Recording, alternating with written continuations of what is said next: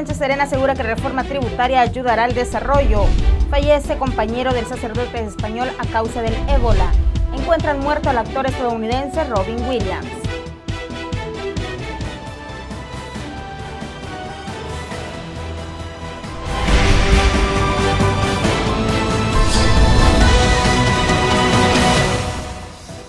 Bienvenidos a su noticiero de la prensa gráfica. Hoy lunes 11 de agosto les saluda Ángela Medina. El presidente Salvador Sánchez Serén defendió una vez más la reforma tributaria y rechazó que esta fuera aprobada por sorpresa. El presidente de la República, Salvador Sánchez Serén, habló este lunes sobre la necesidad de la responsabilidad tributaria, la cual se implementará por medio de las reformas fiscales. Además, el mandatario manifestó que la aprobación de las reformas tributarias no fue sorpresiva, ya que su gobierno sostuvo mesas de diálogo con distintos sectores privados. Yo quisiera sobre la reforma fiscal aclararles que esta se presentó en mayo. Hemos tenido dos meses de discusiones en la Asamblea Legislativa. Hemos discutido con los sectores empresarios, no, hemos, no, no, no nos hemos reunido con cada uno, sino con sus representantes. Sánchez Serén reiteró que el dinero recaudado con la reforma tributaria se invertirá en proyectos para el desarrollo social del país. Utilizar esos recursos para invertir, para invertir en el desarrollo social del país. Invertir en educación, invertir en salud y invertir más fuerte en seguridad. El pasado 31 de julio, la Asamblea Legislativa aprobó un nuevo impuesto a las operaciones financieras, así como reformas al Código Tributario y a la Ley del Impuesto sobre la Renta. Informó para la prensa gráfica.com Milton Jaco. La investigación que se lleva a cabo contra el sacerdote español Antonio Rodríguez es seria, así respondió el fiscal general a los cuestionamientos hechos por diversas organizaciones. El fiscal general Luis Martínez no dio importancia a organizaciones sociales que hablan que el caso del padre Toño es una persecución política. El funcionario indicó que la investigación es seria y están haciendo todo lo posible para evitar crímenes como la extorsión desde las cárceles, delito que se le vincula al religioso. Persecuciones políticas lo puede hacer el, gobierno. Sé que sería el gobierno al que están atacando con esas duras críticas. Nosotros estamos haciendo una verdadera investigación penal y así esperamos que se desarrolle. La telenovela que se está montando o ese circo realmente no va a confundir a la población en general. El fiscal además señaló que la tregua entre las pandillas es una investigación aparte de la que se lleva en este momento hacia el padre Antonio Rodríguez. La tregua 1. El padre Toño está en la tregua 2. Nosotros en la investigación de tregua 1 seguimos todavía profundizando Estamos llegando a unos momentos bastante complicados de esa investigación, pero como le digo, tengan confianza. La Fiscalía pidió a los ciudadanos confiar en los procesos judiciales. Además, indicó que hay que darle un voto de confianza al plan de policía comunitaria para erradicar la delincuencia en el país. Informó para la prensa gráfica.com Nancy Alonso. Con el fin de estar más cerca de la gente y velar por su seguridad, la policía comunitaria fue lanzada oficialmente por autoridades de gobierno. Veamos el siguiente informe. El presidente Salvador Sánchez Serén junto a las autoridades de seguridad pública realizaron el lanzamiento oficial de la Policía Comunitaria en San Salvador. La colonia Costa Rica fue el lugar elegido para iniciar la implementación de este modelo de seguridad. sigo reafirmando mi compromiso de estar al frente de la lucha contra todas las manifestaciones de, la delincuencia. Es necesario que sigamos fortaleciendo todas las capacidades de institución policial. El director de la Policía Nacional Civil expresó que el objetivo fundamental de esta estrategia es que se establezcan lazos entre los agentes y la población, generando más confianza y que se aumenten las denuncias de hechos delictivos. Pero más que eso, una nueva forma de hacer policía, una nueva forma de abordar el problema de inseguridad en nuestras comunidades y una nueva estrategia de llevar paz y tranquilidad a todo nuestro país. Los pobladores de la zona indicaron que darán un voto de confianza a los agentes para que se realice una lucha contra el crimen. Pues nos va a ayudar para la seguridad, este, para el bien común, como dice el Papa Francisco, ¿verdad? El Papa Francisco nos habla del bien común y es el bien de todos. Todos nos tenemos que velar unos por otros.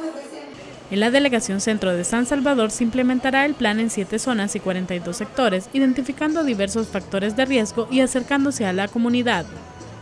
Informó para la prensa gráfica.com Nancy Alonso.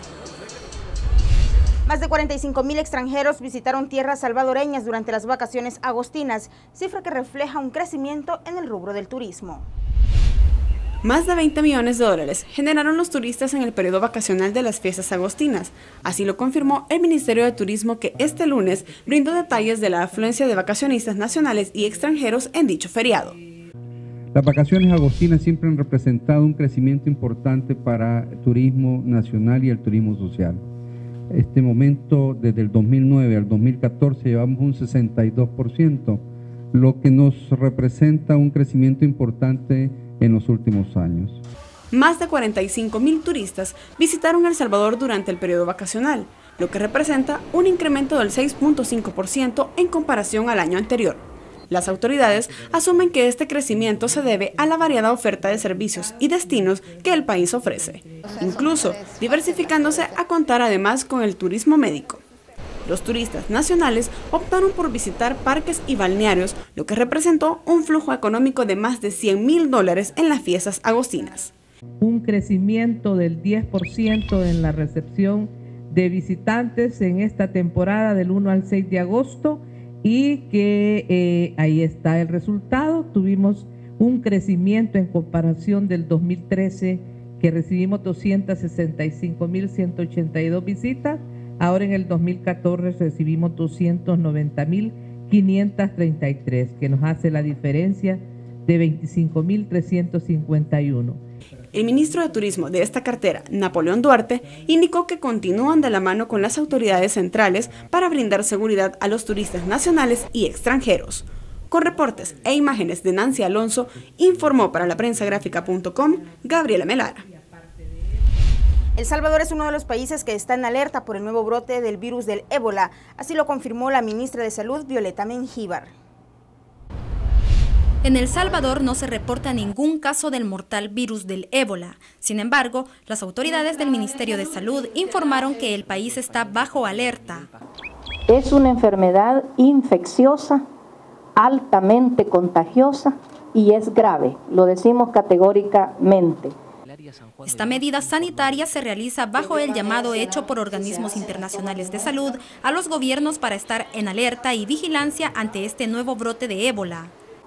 Ustedes saben que la OMS, la Organización Mundial de la Salud, ha declarado emergencia de salud pública de importancia internacional.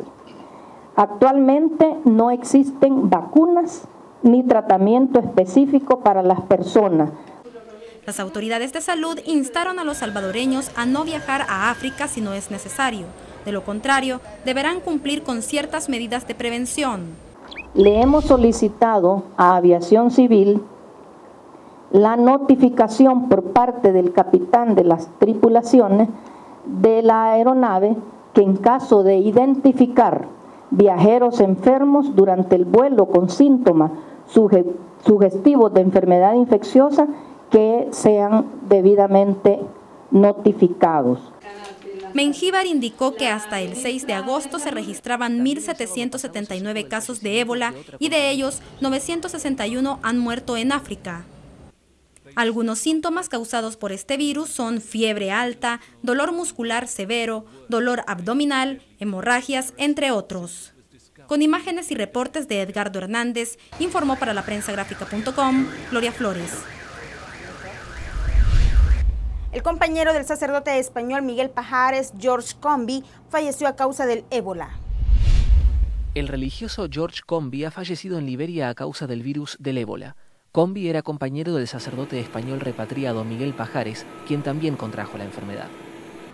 En el momento de la repatriación de Pajares el pasado miércoles se desconocía que Combi estuviera infectado y no fue hasta este fin de semana cuando la Orden Hospitalaria San Juan de Dios informó de ello.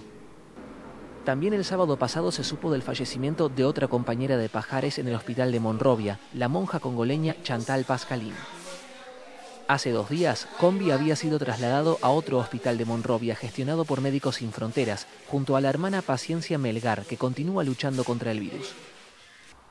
Entre tanto, en Madrid siguen hospitalizados Pajares y la hermana Juliana Bonoja, ambos a la espera de conocer la evolución del sacerdote tras serle administrado el medicamento experimental. Se trata de un suero con el que son tratados también un médico y una voluntaria en Estados Unidos. El religioso español se encuentra estable y la familia tiene esperanzas en que el fármaco le ayude a superar la enfermedad. El mundo del espectáculo está de luto y es que el oscarizado actor estadounidense Robin Williams fue encontrado muerto. La policía de California investiga las causas, aunque no se descarta un suicidio. La policía de California informó del fallecimiento del actor Robin Williams en horas del mediodía de este lunes 11 de agosto. La noticia fue confirmada a través de un comunicado en su web oficial. Robin Williams ha muerto a los 63 años de edad, supuestamente por asfixia por suicidio, indica el comunicado. El sitio Hollywood Reporter fue de los primeros medios en difundir la noticia. Hace más o menos un mes se informó que el actor se internó por su propia voluntad a un centro de rehabilitación por el abuso de cocaína y alcohol que lo perseguía desde la década de los 80. Williams, uno de los actores más reconocidos de Hollywood, ganó un Oscar por Good Will Hunting. El veterano actor nacido el 21 de julio de 1951 en Chicago, Estados Unidos, fue también cinco veces ganador del Globo de Oro por su extensa lista filmográfica. Informó para la prensa gráfica.com Ángela Medina.